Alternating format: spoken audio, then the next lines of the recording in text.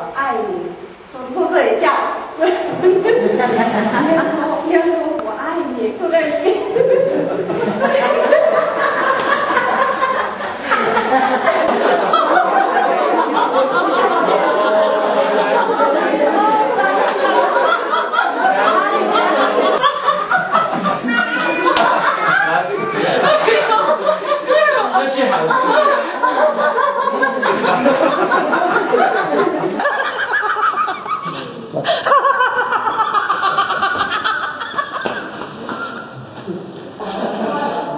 할렐루 야, 할렐루 야.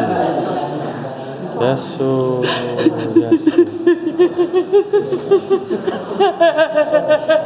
哈렐루 야.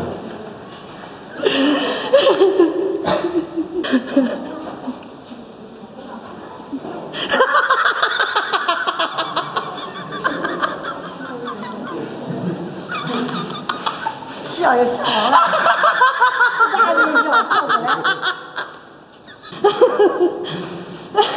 Hallelujah.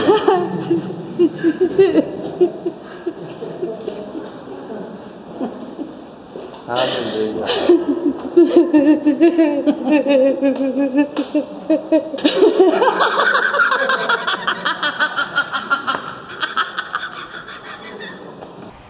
In this video, you can see some people filled with great joy, and some people might wonder is it possible to have that joy in the Holy Spirit?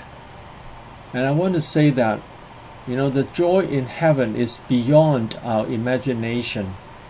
The people in heaven will be so filled with joy, it's undescribable. So we cannot limit how powerful the joy in the Holy Spirit can become.